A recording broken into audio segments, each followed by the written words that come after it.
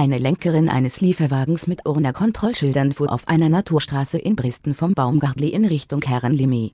Von links sprang ein Reh unmittelbar vor das Fahrzeug. Durch das Ausweichmanöver stürzte das Fahrzeug rechtzeitig den Abhang hinunter und wurde nach etwa fünf Metern durch die Bäume aufgefangen.